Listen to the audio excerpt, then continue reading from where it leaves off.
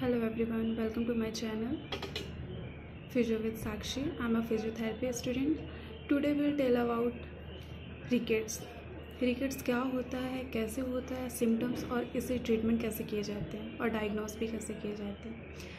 Rickets is a disorder cause in children cause by a deficiency of calcium vitamin D phosphate it's lead to softening and beginning of bones. ज़्यादातर skeleton deformities देखे जाते हैं। इसके causes क्या है?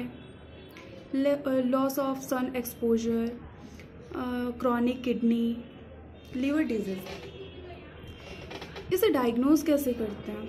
With the help of X-ray blood test etcetera इसके treatments कैसे होते हैं? 10 to 15 minutes per day, day uh, sun exposure and uh, vitamin D supplements, phosphate, calcium supplements and uh, etc.